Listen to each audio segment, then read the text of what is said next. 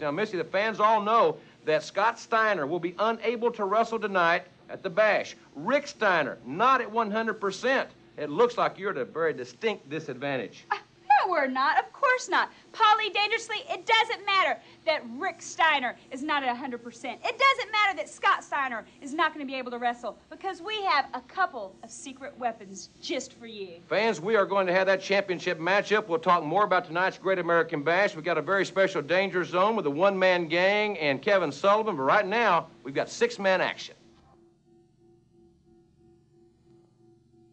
This, ladies and gentlemen, here on TBS in the main event, in less than one hour, the Great American Bash pay-per-view event will take place. As many of you know, a new world heavyweight champion will be crowned tonight. It'll be inside a steel cage. The number one contender for the championship, Lex Luger, will be challenged by the number two contender for the championship, Barry Windham. Both these guys uh, have had great success in their careers. As a matter of fact, they've both been partners. Uh, they've been the World Tag Team Champions at one time. I'm predicting Barry Windham to win it, Missy. What is your prediction? Why would you predict Barry Windham? Experience, uh, more experience in cage matches, no, couple, couple no. of intangibles. I'm a woman, and, and no if doubt you look about at, that. And if you look at Barry Windham and then you look at Lex Luger, Lex's body, he's much stronger, he's in much better shape, and he's also the number one contender. So number one is before number two, so I think number one's going to win. Well, fans, that's Missy's prediction. Now, still to come in the broadcast. And I'm always right. We'll see about it in less than one hour. The TV championship is next on TBS.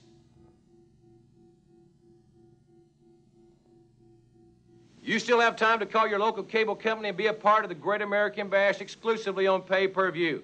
One of the matchups, a mixed gender tag team event inside a steel cage. We don't know exactly who the participants are all going to be tonight because of injuries. Barry Windham will not be on Paul E's team. Scott Steiner will not be on Missy Hyatt's team. But this whole situation started in January at the arm wrestling contest. And then on World Championship Wrestling, Missy and Paul had another altercation. And then culminating on June 12th at the Clash of Champions when Paul, from behind, struck Missy's boyfriend, Jason Hervey. Missy, I know that you look forward to this matchup in a cage tonight on pay-per-view. Well, you know, it doesn't matter that the people and the, the guys have changed in the matches. I mean, you know, we don't have Scott Steiner, they don't have Barry Windham, because Paulie Dangerously is not a man. He You know, I figured count. maybe since we have just about an hour to go, I'd come out here. I wish you luck, because everybody knows, Missy, it's going to come down to you and me, and hey, may the better man win. Know what I mean? I'm not even going to dignify that remark. I just want to tell you I'm going to see you tonight in the cage. Oh, she's going to see me in the cage.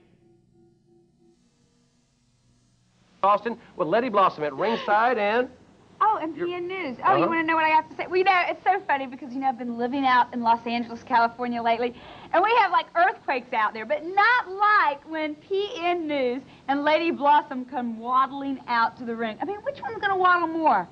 Huh, I uh, don't we'll just have to wait and see about the waddling. What do you think, Well, you Paul? see, his PN News and he raps all the time. But the funny thing about it is his raps don't rhyme. But give the guy credit, he tries real hard, because it's tough being funny when you're a fat tub double lard.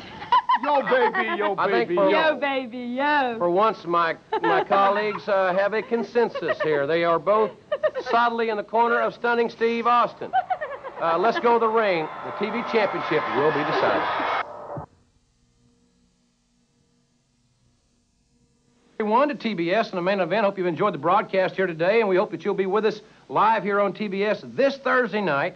It's an 8.05 Eastern Time, 7.05 Central Time start for the Clash of Champions. We're going to see uh, the new World Tag Team Champions crowned. A big press conference is planned for Thursday night as well. But, Missy, I keep thinking about your hotline. Now, we know it's on until midnight tonight.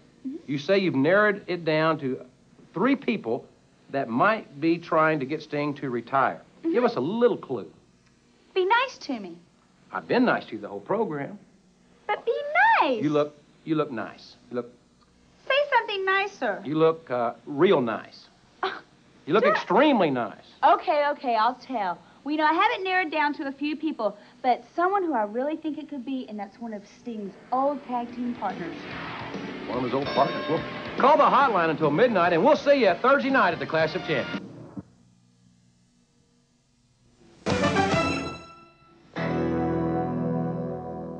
Hi, everyone, and welcome to WCW Main Event Wrestling. And I'm Missy Hyatt, and this is my new co-host, Tony Schiavone. Say hello, everybody. Hi. Hi, Missy. It's great to be with you again, and we have an exciting hour, including our main event. What about this one? The Z-Man and Cactus Jack this week. Well, I can't wait to see the Z-Man in those little teeny tights. Okay, that's good. Cactus Jack will be here as well. He'll be here in the Ross Report. Jim Ross will be talking to Cactus Jack, but our first event will be stunning Steve Austin against Tracy of the Young Pistols. Here we go. Talking about the big main event, Rick Steiner, Lex Luger for the world title, Missy. Well, you know, you've heard the saying, brains versus brawn, right? Yes, I have. Well, this is the opposite way around. You still got the brawn, but you have the brainless. I'm sure you're talking about Rick Steiner. Rick Steiner made a statement recently to me on TV, and then Lex Luger got involved. Let's Fans back on the main event, want to remind you that next week, 6.05 Eastern, our main event, Mr. Hughes will go up against Steve of the Young Pistols. And don't forget the Clash of Champions comes your way this Tuesday, 8.05 Eastern, 7.05 Central. want to talk about Medusa, though. She has had many interviews, and she's brought up your name a couple of times. Well, you know, I've seen women come and go, and she's not the first lady of WCW. I am. And if you want to know more dirt on Medusa, you call me on the hotline, because I know about her. We'll see you next week. Steve of the Young Pistols and Mr. Hughes, what a tremendous match. And we want to remind the fans that. Uh, am I bothering you here by talking? No. Want to remind the fans that next week we have the York Foundation, the new World Six Man Tag Team Champions. I ag- predicted it. Against Beautiful Bobby and the Fabulous Freebirds, and that should be an exciting main event. In addition, we'll take a look back at Barry Windham and Ron Simmons together in a match before Barry's injury against the team of the Enforcers. Well, don't like any of those guys. The enforcers scare me because they're so tough. Let's talk about uh, the Young Pistols and their change of attitude that we've seen over the last couple of weeks. Well, I know all about that because I kind of like their new attitude, and I've been talking to Tracy and Steve, and I've got more scoops on the hotline about them. I just, I know what changed their attitudes. Is there anything that you don't know at all? Mm-mm. You probably didn't know that, that I'm on the hotline one day a week also. Really? Yeah. See? I'll have a scoop on that, too, about Missy Hyatt. And fans, we're Missy. I'm Tildy Schiavone. We'll see you. not.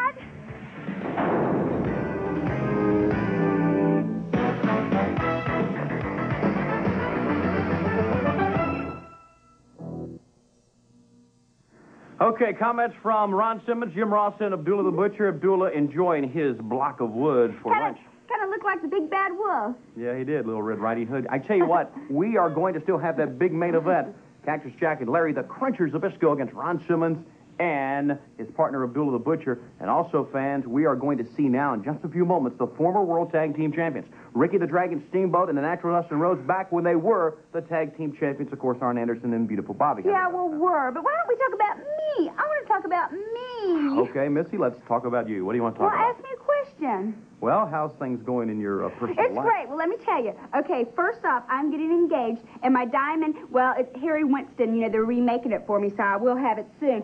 And at my wedding, I'm going to have more than two helicopters. You know, Jane and Ted, they only had two because I'm marrying a real Hollywood celebrity. I don't know why I put up with this sometimes, but You're I know lucky. we're going to the ring. Swing Cactus Jack. All right. We're hot now. And Abdullah the Butcher, they will be in the main event one week from tonight at the Omni in a cage. Have to throw the other man over the top of the cage to the floor. And a cut doctor will be at ringside. What an event that will be at the Omni.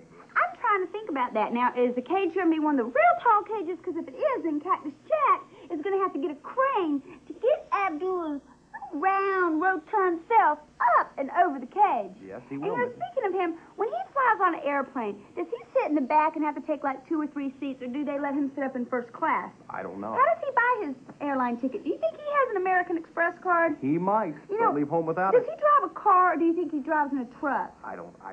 How does he tie his shoes? Do you, do you know how he ties his shoes? What about, you know, there's just a lot of things that make you go, hmm, about um, him. hmm. And fans, we'll see you next Sunday, Missy and I, on the main event. Even though Bagwell was rudely hesitant in leaving ringside, the classy tailor-made man encouraged the rookie and even made him a wonderful offer. Taylor offered to take Bagwell under his wing and teach him how to be a successful wrestler. I guess Terrence felt sorry for little Marcus, something I could never do. Anyway, here's what happened when the tailor-made man made Bagwell an offer that he should not have refused.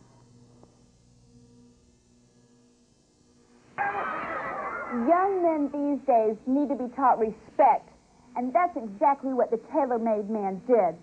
A Super Brawl, I think Taylor will complete Bagwell's attitude adjustment. Remember to join Jim Ross this Saturday on WCW and his special guest, Jesse the Body Ventura, as they will preview Super Brawl 2. This Sunday on the main event, we will have a report from Super Brawl 2, and I'll have some interesting gossip for you from Milwaukee. Until then, this is the real First Lady of WCW saying, stay tuned for more of the Power Hour and sweet dreams from Missy Does the Mail. Welcome back to the Power Hour. I'm Missy Hyatt, and this is Missy Does the Mail. After weeks of speculation, Nikita Koloff has finally made his intentions known. Or at least that's what he wants everyone to think. In a probing interview conducted by Jim Ross on WCW Saturday Night, Koloff seemed to be very sincere when he poured his heart out on national television.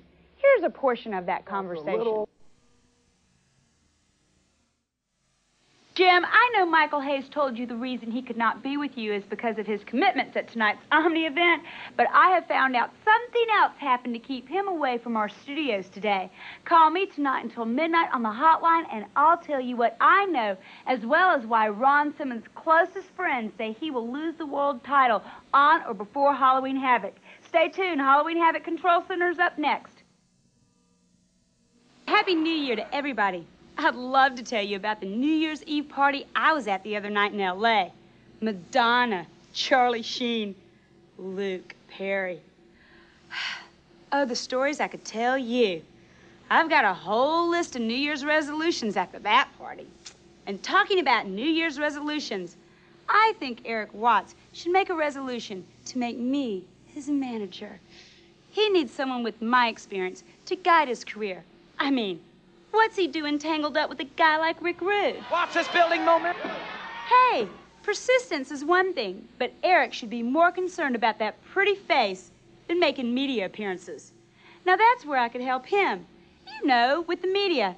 After all, nobody knows more about exposure than moi. More action on the Power Hour after this.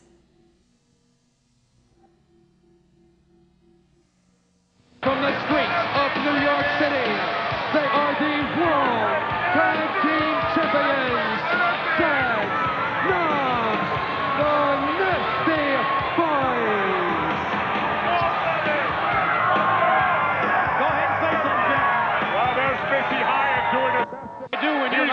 greatest. I am the greatest.